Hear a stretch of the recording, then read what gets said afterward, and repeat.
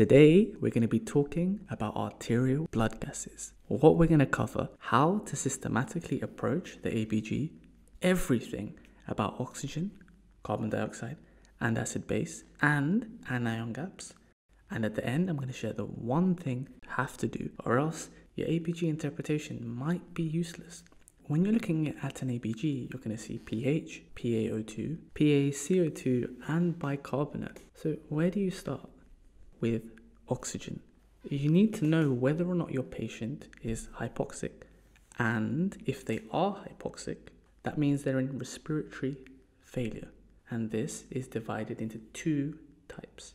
Type 1, this is where the patient is hypoxic, but they're not retaining any CO2. So their PaCO2 is low or normal. If they're in type 2 respiratory failure, they're hypoxic and they're retaining CO2. So now that you've assessed whether or not your patient is in respiratory failure, now it's time to assess for acidosis and alkalosis. This is super simple. Start by looking at the pH. The pH might be normal, acidotic, or alkalotic. Now, if it's acidotic or alkalotic, you need to find out what the most likely cause is. So, if the pH matches the carbon dioxide, it's probably a respiratory cause. If it matches the bicarbonate, it's probably a metabolic cause. Sometimes it might match both, in which case it's a mixed picture. Now, after you've identified the cause, you want to assess whether or not there's any compensation. We're going to look at an ABG, and after that, it should be very clear. So, is the patient hypoxic? The patient is hypoxic and they're retaining CO2. So they're in type 2 respiratory failure. Next, let's look at acid base. The pH is acidotic. Okay, so does it match the PaCO2 or the HCO3? It matches the PaCO2. So it's a respiratory acidosis. The bicarb is high, so therefore there's a metabolic compensation.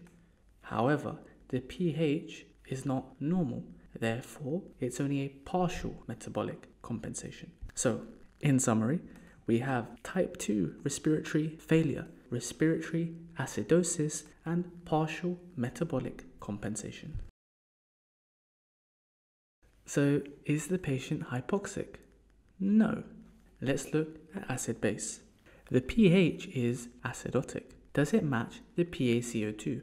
No, the CO2 is low does it match the HCO3?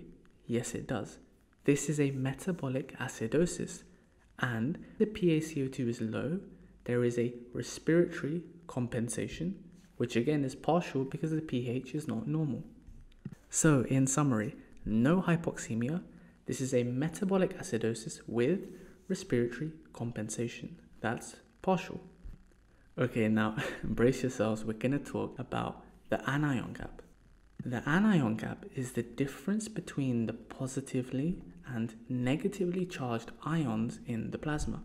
So we can get an estimate of this using sodium and potassium to make up our positive ions and bicarb and chloride ions as our negative ions. The normal range is from 3 to 11 and this is particularly useful in acidosis which can be divided into acidosis with a normal anion gap and acidosis where there's an increased or raised anion gap. In a raised anion gap, we have the addition of an acid. So lactic acid in shock or heart failure, ketones from DKA, or urate in renal failure. These extra H plus ions bind to the bicarbonate, which means there's less negative ions, so the anion gap increases. Now, bear with me. So, in a normal anion gap, there's the loss of bicarbonate. But wait, if you lose bicarb, shouldn't the anion gap increase? Well, not quite. So, when we lose bicarbonate, diarrhea, or in renal tubular acidosis, we lose bicarbonate in the urine, the kidneys compensate by absorbing more chloride ions. Therefore, we lose bicarb but we gain chloride. so the anion gap remains normal. This is also why this type of acidosis is referred to as hyperchloremic because there are more chloride ions in the blood. Finally, one last thing you must do to ensure your ABG interpretation is accurate. You need to check whether or not your patient is on oxygen. Always report the FiO2. The reason being, the normal ranges of PaO2 are for patients on room air.